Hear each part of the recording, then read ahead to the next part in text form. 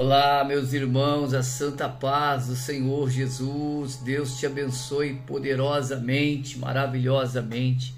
Agora são 18 horas e nós vamos orar juntos, como sempre, e pedir a Deus a quebra de toda maldição. Se prepara aí, pega o seu copo com água, porque essa oração vai ser uma bênção em nome do Senhor Jesus, tá?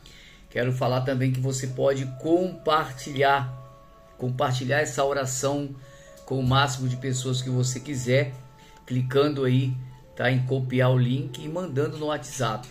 E não esquece de se inscrever no canal, né? Se inscreve no canal clicando no sininho, a palavra todas, para ativar as notificações. E deixa o seu like aí, que é muito importante para o crescimento do canal, tá?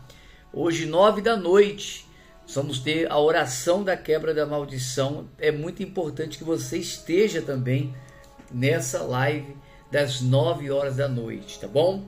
Amados, olha o que diz aqui no livro de Marcos, aqui no capítulo 31. Deus fala do propósito, do propósito que Jesus precisava e ia passar, né? O diabo usa Pedro com palavras é, bonitas, brandas. É, meu irmão, não saia do propósito, por mais difícil que ele seja ou doloroso, ele vai te honrar. No final, ele vai te honrar, vai te abençoar. Olha o que o inimigo fala. Ó. Versículo 31, primeiro propósito. Ó. Então começou ele a ensinar-lhes que era necessário que o filho do homem sofresse muitas coisas. Está falando de Jesus. Ó fosse rejeitado pelos anciãos, pelos principais sacerdotes e pelos escribas, fosse morto e que depois de três dias ressuscitasse. E isso ele expunha claramente. Mas Pedro, chamando-o à parte, começou a reprová-lo.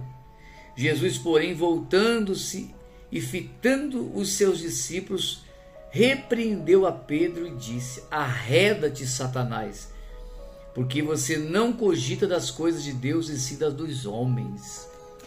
Pedro chamou ele, amado, eu acho surpreendente essa palavra aqui.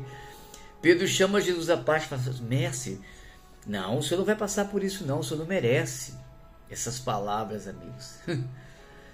Irmãos, o propósito é esse, então nós vamos passar. Se o propósito é você passar por aflições, passa. Não vai na onda do inimigo não, que ele não quer o seu bem. Ele quer o seu mal. Ele quer colocar sentimento no lugar da fé. Mas Jesus percebeu que o diabo estava usando Pedro e repreendeu a reda de Satanás. Porque, porque o diabo não, ele não entende das coisas espirituais, ele entende das coisas dos homens. Então ele quer tirar você do espiritual, ele quer tirar você do propósito. Tá? Não, fique firme, por mais difícil e doloroso que seja, a vitória vai chegar na sua vida. Eu creio nisso. Tenho certeza disso. Em nome do Senhor Jesus, tá?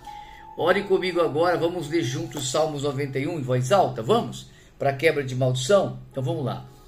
O que habita no esconderijo do Altíssimo e descansa à sombra do Onipotente, diz ao Senhor: Meu refúgio, meu baluarte, Deus meu em quem confio pois ele te livrará do laço do passarinheiro e da peste perniciosa.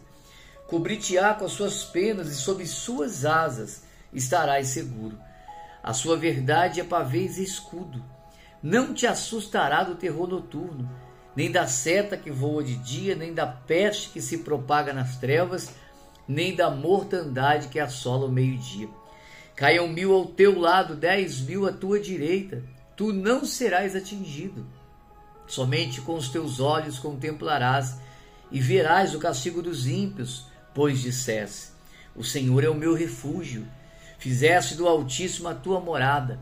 Nenhum mal te sucederá, praga nenhuma chegará à sua casa, porque aos seus anjos dará ordens a teu respeito, para que te guardem todos os teus caminhos. Eles te sustentarão nas suas mãos, para não tropeçares em alguma pedra. Pisarás o leão e a áspide, calcarás aos pés o leãozinho e a serpente. Porque a mim se apegou com amor, eu o livrarei. Poloei a salvo, porque conhece o meu nome. Ele me invocará, eu lhe responderei. Na sua angústia estarei com ele, livrá-lo-ei e o glorificarei. Saciá-lo-ei com longevidade, lhe mostrarei a minha salvação. Ore comigo, Pai, em nome de Jesus.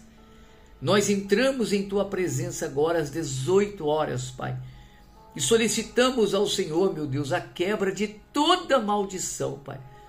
Maldição hereditária.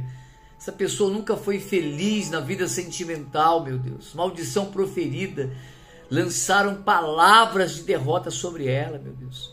Desfaz a obra de bruxaria, de magia negra, de macumba e abre todos os caminhos dessa ovelha, meu Deus. Eu quero declarar sobre a vida dessa ovelha que a maldição está quebrada em nome de Jesus.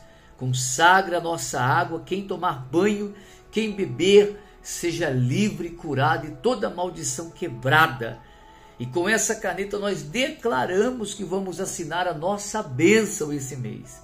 Diga comigo, no nome do Pai, do Filho e do Espírito Santo. Amém. Graças a Deus. Beba sua água e seja abençoado.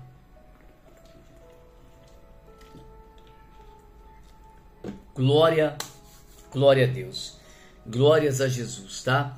Nove da noite eu volto ao vivo com vocês na live dos milagres. Vai ser forte. E essa live termina por aqui. Que Deus abençoe você poderosamente. A maldição já está quebrada. Se precisar, é só chamar. Um abraço, fica com Deus.